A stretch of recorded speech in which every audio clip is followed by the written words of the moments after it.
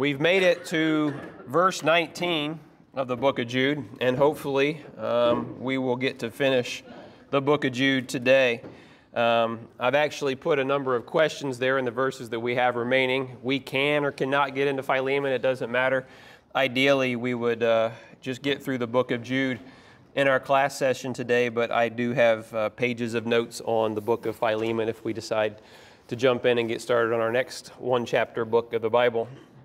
I thought we might start by jumping in the ball pit to start our class today. I came in and had to rearrange the tables a little bit. I'm not sure uh, if that's bring it up here. Anybody want to come up here and jump up and down the ball pit before we get started? Um, all right, let's go ahead and read verse 17 to the close of the letter to begin our study, and then we'll come back and, and go through just to, to set us up. Remember, we're on verse 19 as we finished last time. Starting in verse 17 of Jude. But you, I'll be reading from the New King James Version. But you, beloved, remember the words which were spoken before by the apostles of our Lord Jesus Christ, how they told you that there would be mockers in the last time who would walk according to their own ungodly lusts. These are sensual persons who cause divisions, not having the Spirit. But you, beloved, building yourselves up on your most holy faith, praying in the Holy Spirit, Keep yourselves in the love of God, looking for the mercy of our Lord Jesus Christ unto eternal life. And on some have compassion, making a distinction, but others save with fear, pulling them out of the fire, hating even the garment defiled by the flesh. Now to him who is able to keep you from stumbling, and to present you faultless before the presence of his glory with exceeding joy, to God our Savior, who alone is wise, be glory and majesty, dominion and power, both now and forever. Amen. Remember, Jude shifts his attention to the faithful Christians there in verse 17. He calls them beloved, and he asks them to remember the teaching of Jesus and the apostles. Hold fast to this teaching and not the kinds of things that the false teachers might be professing. Then in verse 18, Jude says, Remember, these false teachers were spoken of. It's no real surprise having to deal with them. And we talked about last time, even our Lord spoke of false prophets coming in sheep's clothing. And then just a few points in, in verse 19. I think we made it through a couple of them. We noticed last week at the start of verse 19, these being the false teachers mentioned again near the beginning of verse 19. Jude says they cause divisions. The Greek in this case is a compound word that literally means make separations, which is exactly what false teachers do when they're trying to get others to follow after their own agenda. We also see sensual persons mentioned in verse 19. Remember, Jude earlier in the letter talks about the false teachers and their lasciviousness or their sensuality. We also talked about their animal instincts back in verse 10, and this is the same idea that Jude's getting at in verse 19. Finally, in verse 19, I think where we wrapped up, we see that they are without the Spirit, or having not the Spirit, as Jude writes there. Let's turn over to Hebrews chapter 10. I think we turned there, but we did not read it. Hebrews chapter 10, and we'll look at verses 26 to 29.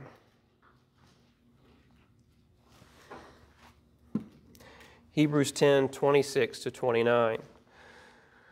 We read, Therefore, if we sin willfully after we have received the knowledge of the truth, there no longer remains a sacrifice for sins, but a certain fearful expectation of judgment and fiery indignation which will devour the adversaries.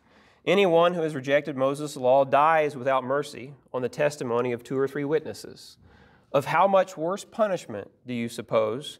Will he be thought worthy who has trampled the Son of God underfoot, counted the blood of the covenant by which he was sanctified a common thing, and insulted the Spirit of grace.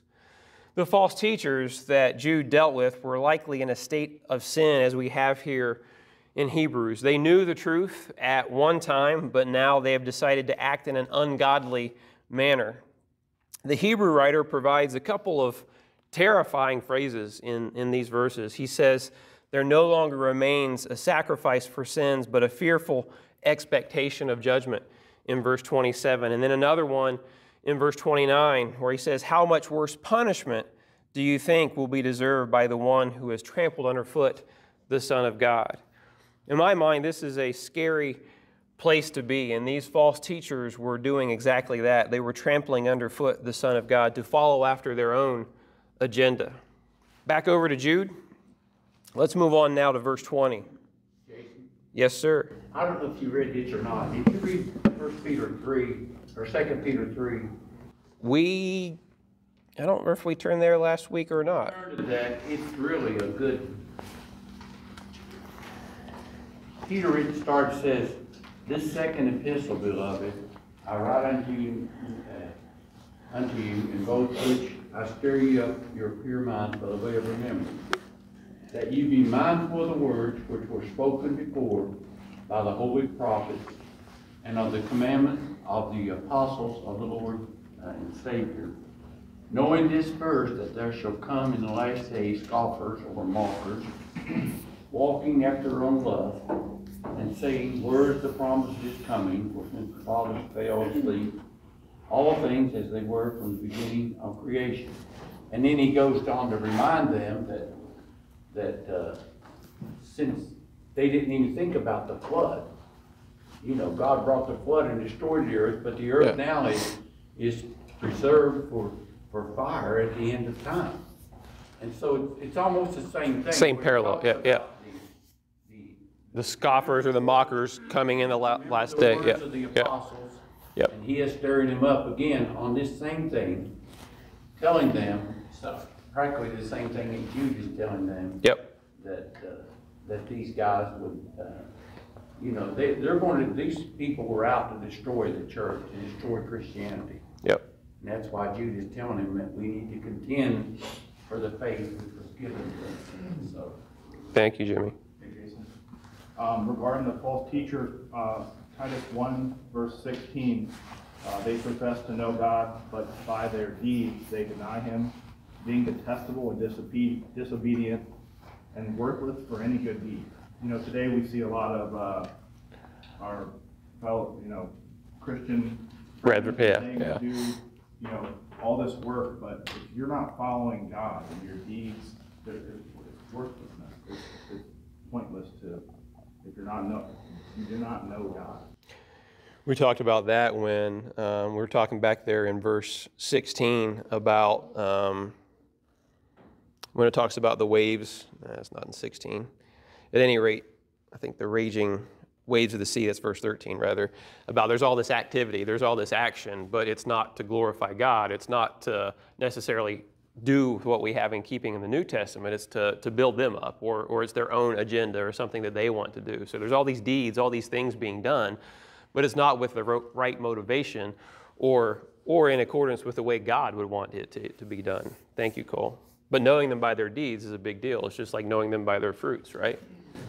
And, uh, Jason, another good place is Revelation two. Uh, chapter verses one and two, he wrote to the church at Ephesus there.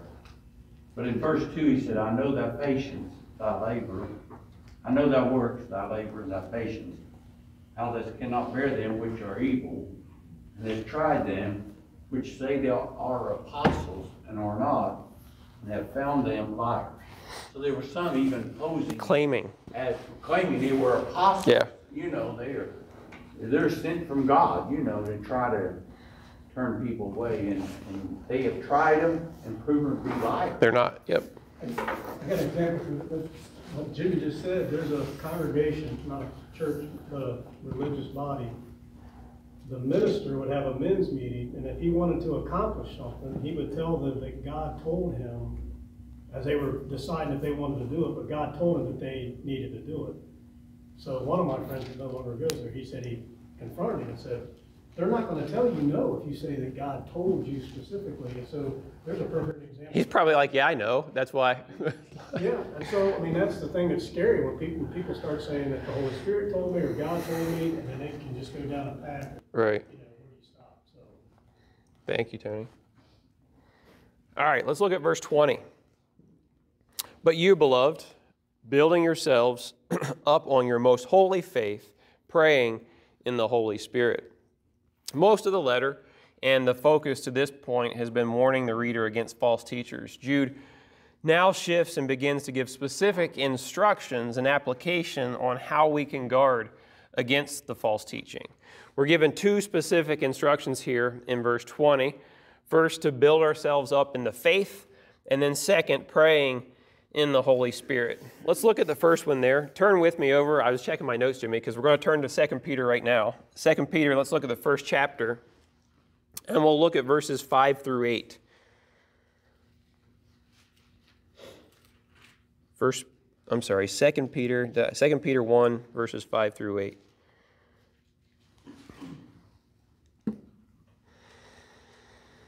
But also, for this very reason, giving all diligence, add to your faith virtue, to virtue knowledge, to knowledge self control, to self control perseverance, to perseverance godliness, to godliness brotherly kindness, and to brotherly kindness love. For if these things are yours and abound, you'll be neither barren nor unfruitful in the knowledge of our Lord Jesus Christ. Peter gives us a checklist of things we should focus on so that we can be built up in the faith, as Jude suggests. Peter tells us that if we, if we focus on these things, we will be effective and we will be fruitful in our knowledge of Christ. So that gets us to the first question that I had on the sheet. How does our focus on a list like this, like we have here in 2 Peter, help build us up in the faith, as Jude suggests? What are some ways we can put into action the things that Peter shares here in these passages.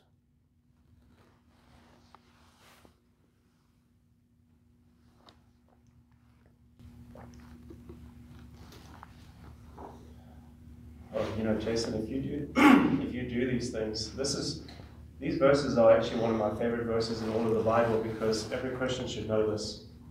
Um, because in, as I'll just jump ahead in verse 10. It says, If you do these things, you'll never stumble, making your election sure.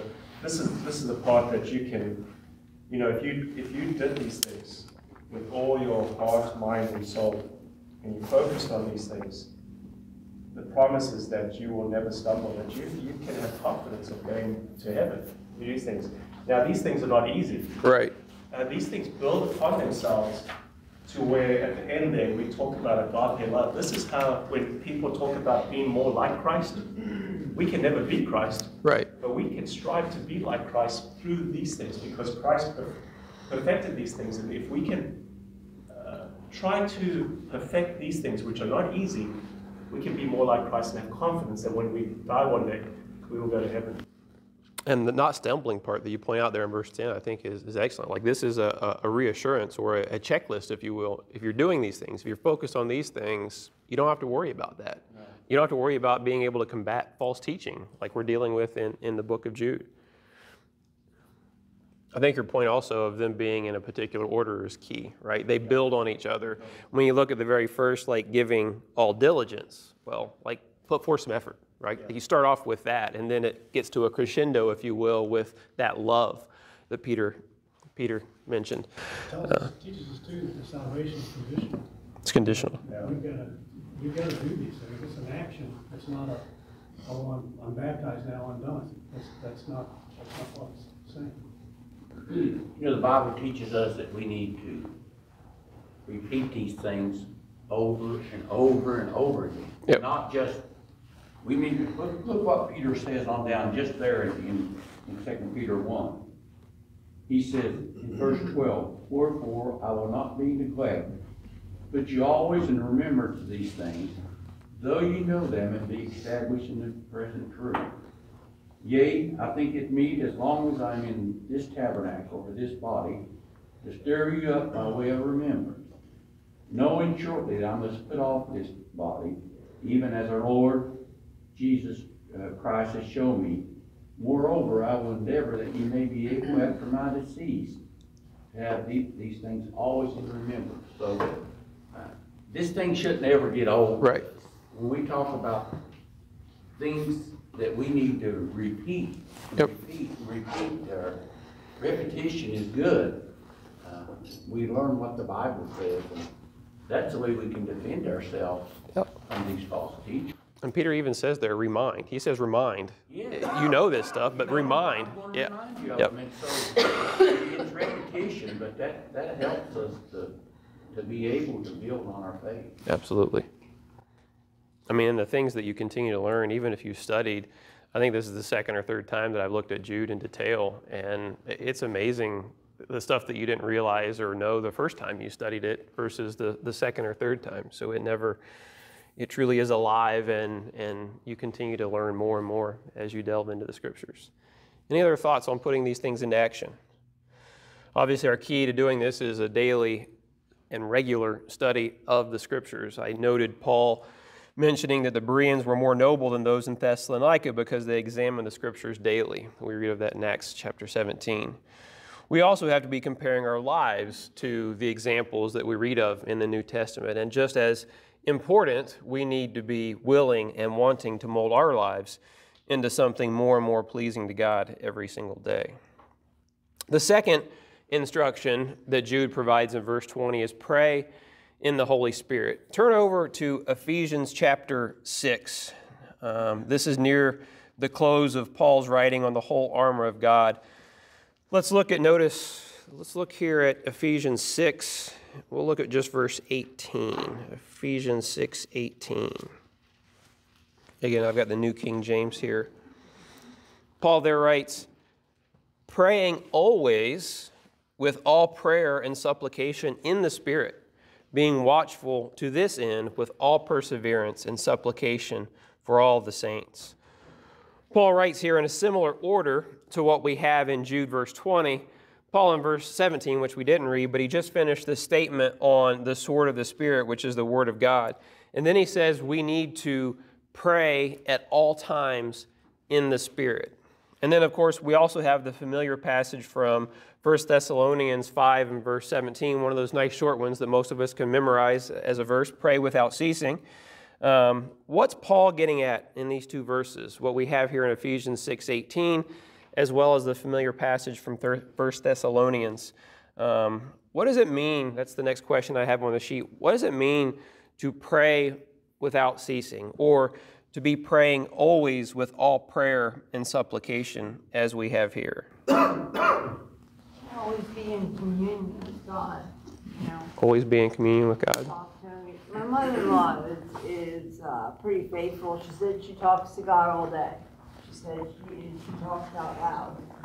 You know, sometimes people just pray in their head. She said sometimes the verbal, saying it out loud is very helpful. Okay. I heard you say in a relationship, if you quit talking, what happens? The relationship's not very strong. And I Yeah. friendship, Yeah. anything that you do.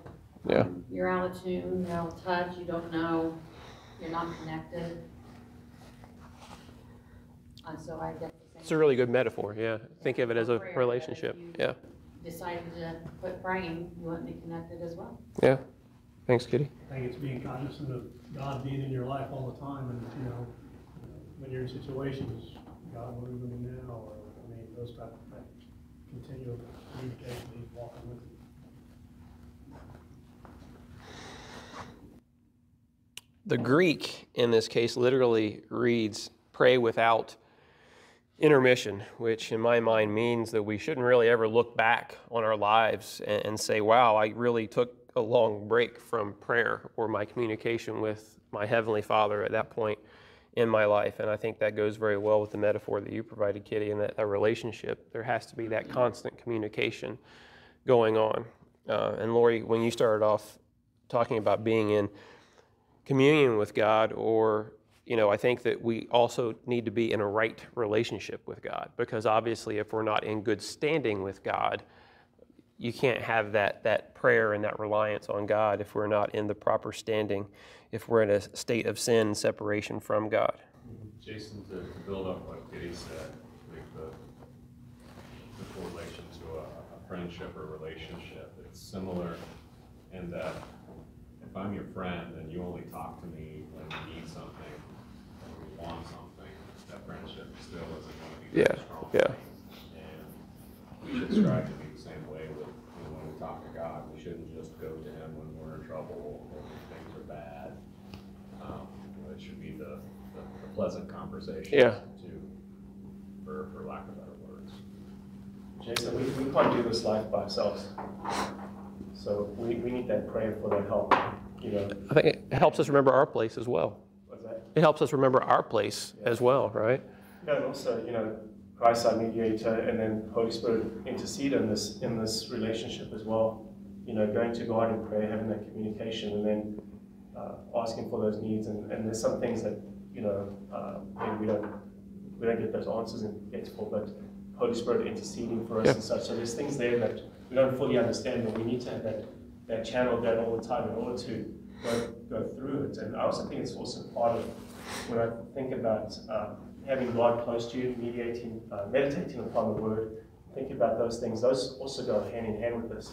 Is living closer to God and being closer to God in order to navigate, you know, this world that we live in. It's it's not it's not easy. I know all of us over here, when we go from here into the world, we encounter the the savage wolves and such Yep. of the world, and we need we need that help constantly, and we can never get arrogant to think that we we've got it all handled. We'll do it our own. Yeah, we might have a job that's going well and a house and Yeah. family, but the minute you get arrogant is the minute you're stepping into danger zone. Yeah.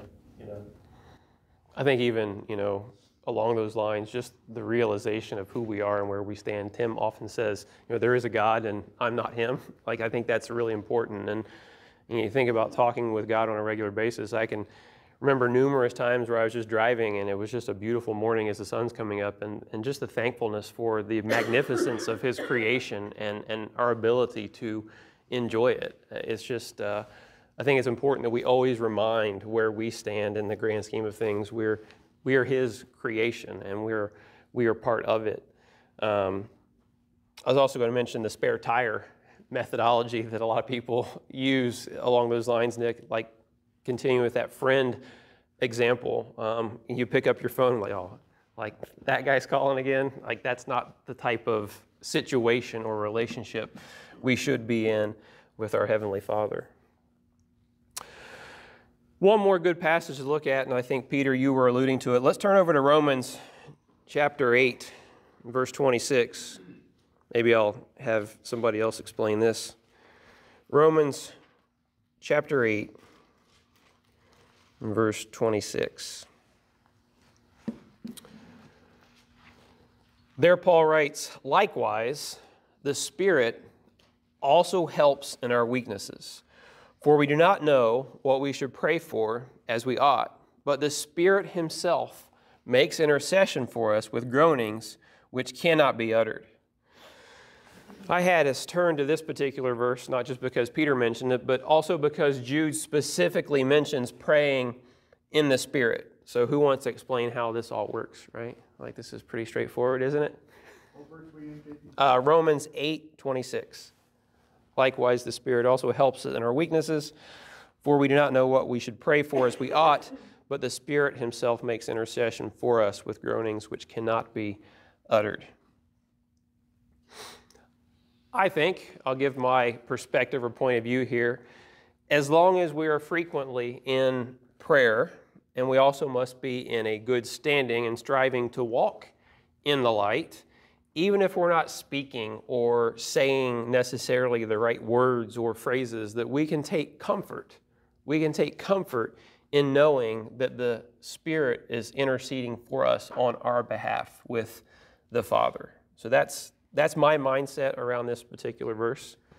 Any other thoughts or comments on Romans 8 26? I may have said 8 28. I, I don't know if we fully understand, understand it, um, and maybe that's the beauty of it as well. Um, but I, I feel like this is the part where the, the Holy Spirit, as is, I think, trying to say here, knows what's good for you, is helping you along the way in those prayers and stuff, saying, you know, this is a good God, this is a good person here. Uh, let's bless them in this way. Let's keep them on the straight and narrow. Let, because there's, there's dangers left and right All around. Yep. all around. And, you know, spiritually, remember the, the, the devil, the adversary, as a roaring lion, is walking about seeking whom he may devour. There are obstacles placed in front of us that we don't even know. Um, uh, remember Balaam Yep. You know, didn't even He didn't know the angel was there. Yeah. And, and, you know, spiritually, if we had some kind of spiritual glasses on, we would see and go, wow, this is, this is danger. But, you know, we are walking this path, this spiritual path, and uh, trying to do the right thing and being obedient to God. And yes, the, the, uh, the Holy Spirit helping us, yeah, Yep. saying, you know, God who's over all, the creator, the omniscient, um, how do you say? it? Omni- Omniscient and omnipresent, omnipotent. Yeah. is yeah, you know what? Jason is a is a is a good person. You know, this is how I see it, and and that's why you know we, we, we need to be obedient to the Word of God. We need to be praying, being close to the Word, close to God, thinking about meditating on the Word all day, and and you know.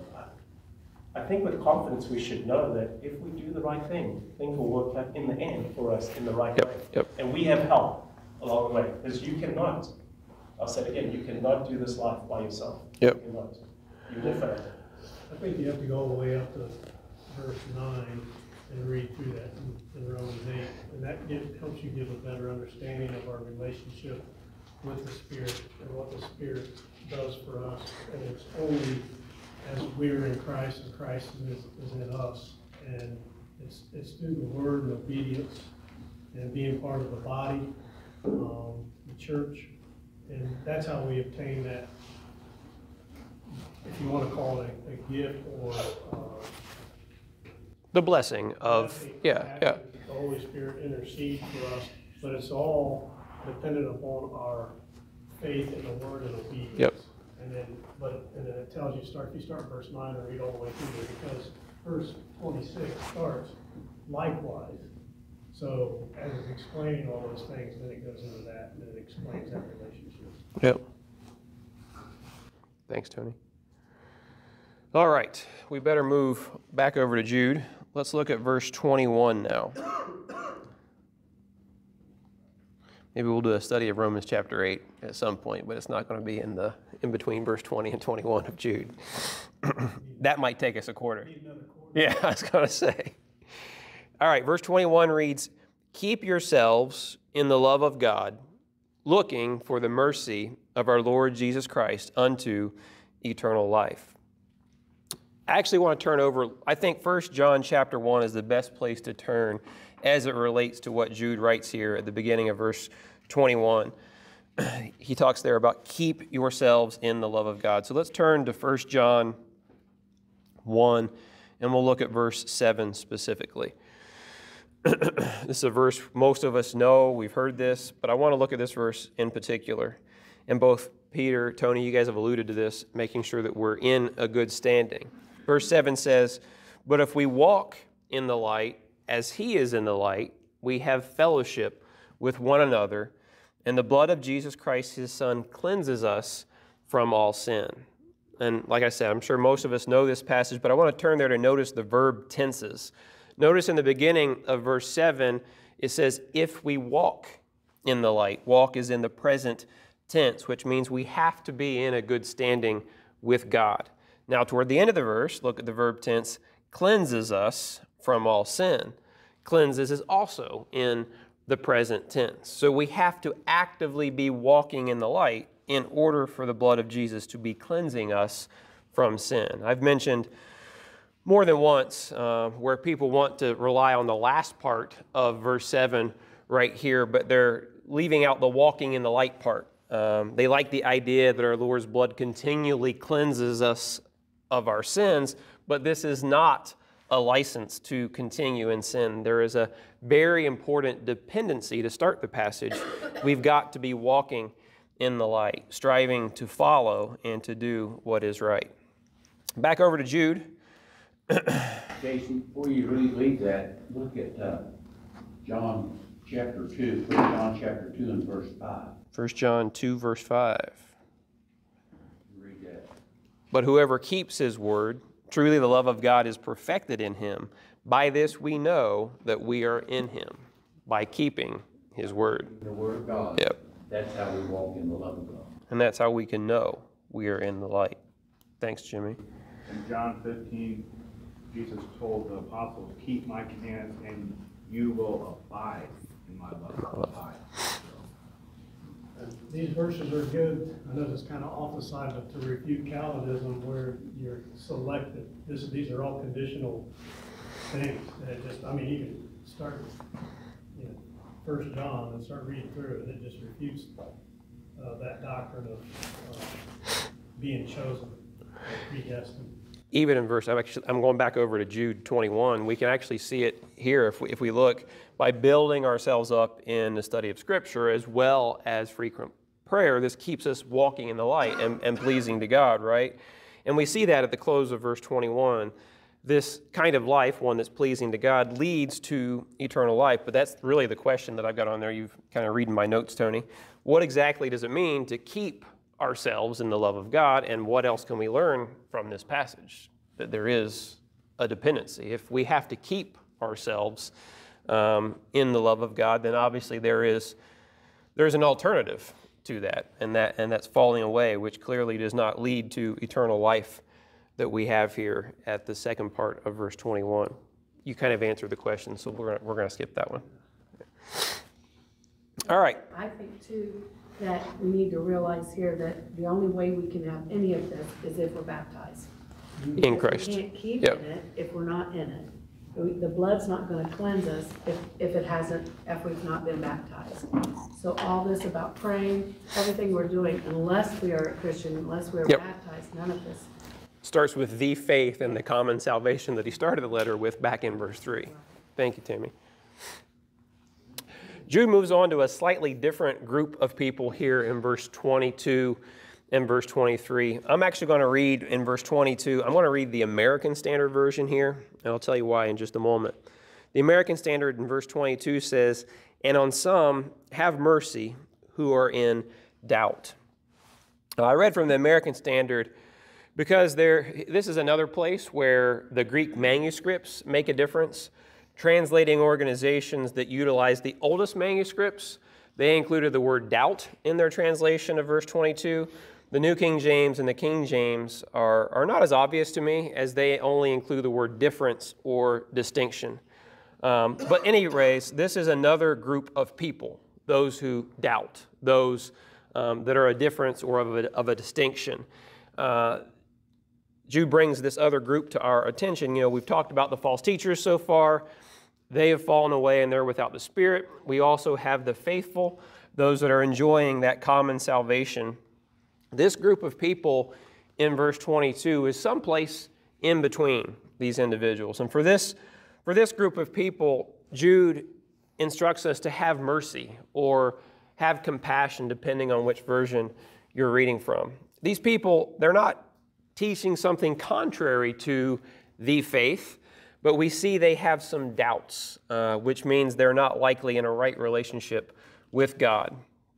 The passage that comes to my mind when I think about this is Galatians 6 and verse 1, where Paul talks about a spirit of gentleness. I realize Paul in that passage is talking about a brother or sister that's caught up in sin, uh, but probably one of the worst things we can do if someone is in a state of doubt is to be is to be harsh with them. We have to be loving and kind while at the same time guiding them closer to the truth.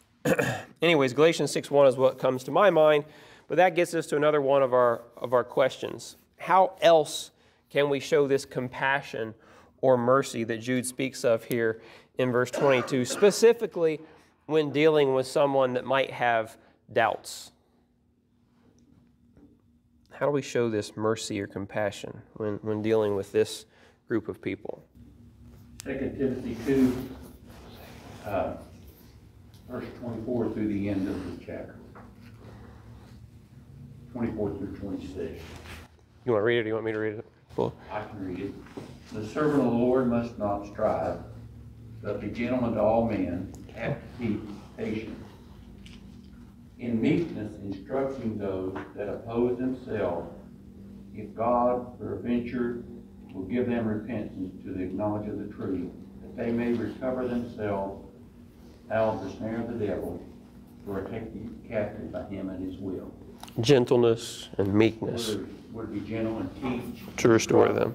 help them to come out of this, that those that oppose themselves or are having difficult problems, Yeah. that the devil will that will be able to save them from their, their error. Yeah.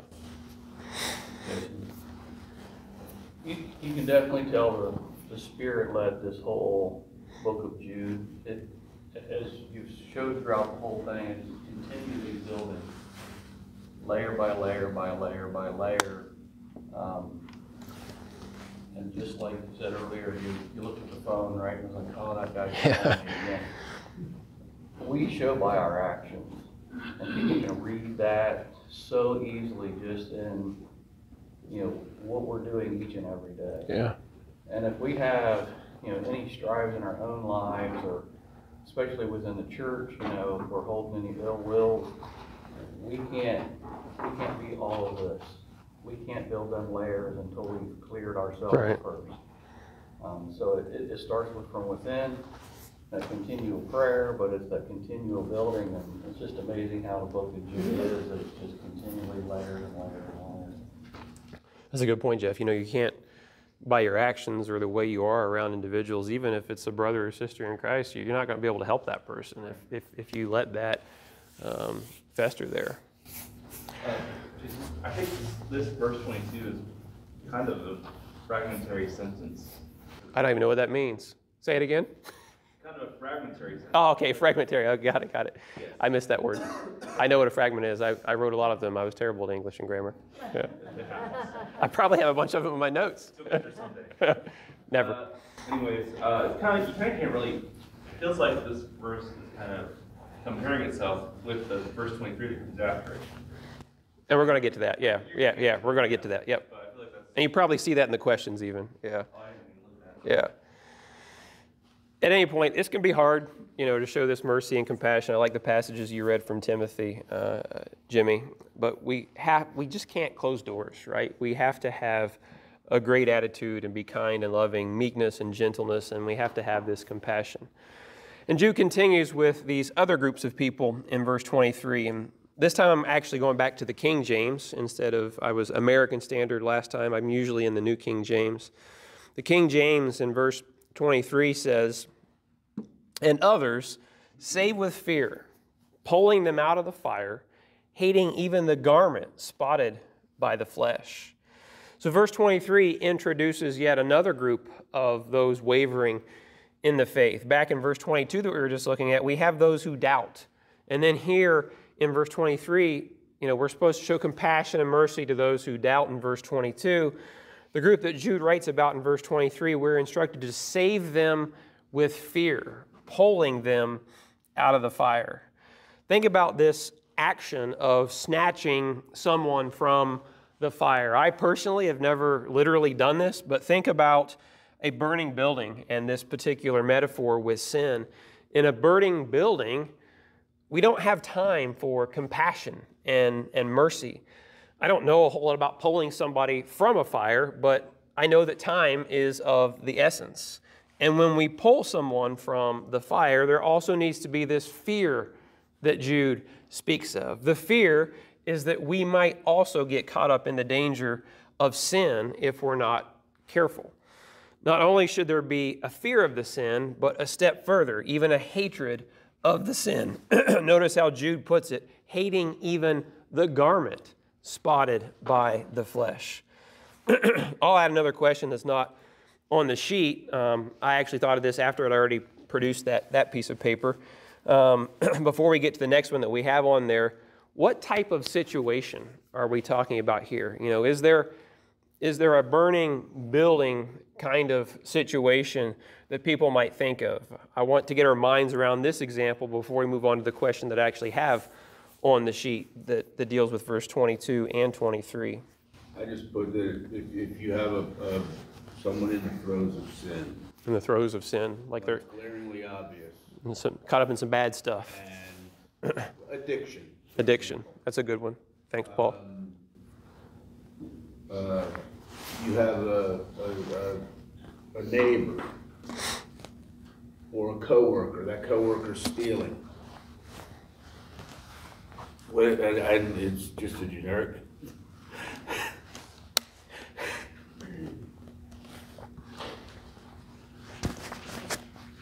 When you're in the throes of sin. Yeah. Got to address it And I'm not- immediately. I'm not Yeah, gonna yeah. read you my resume. Yep, yep.